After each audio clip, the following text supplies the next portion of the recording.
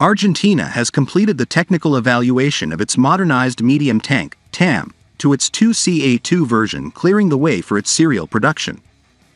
The modernization was conducted by the Israeli company Elbit Systems together with an Argentina's Industrias Metalúrgicas Pescarmona Sociedad Anónima, IMPSA.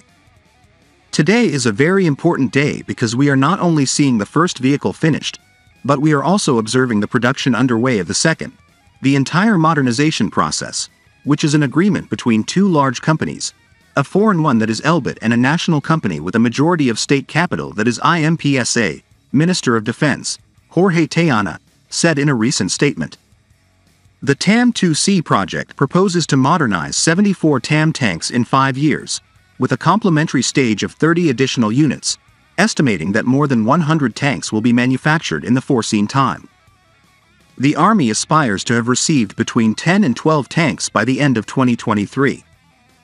IMPSA was hired to carry out the metal mechanical part, while the optronic instruments were provided by Elbit Systems. The TAM-2CA2's overall dimensions and weight allow for easy transportation and deployment. The tank's turret is armed with a Rheinmetall RH-105 to 30,105 mm smoothbore gun manufactured in Argentina as the FMK.4 Modelo 1L.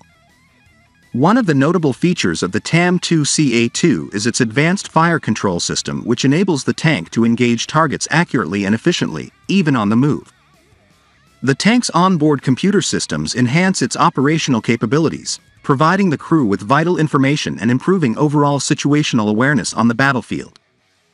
Around 70% of the components, spare parts and supplies for the maintenance of these units are of national origin.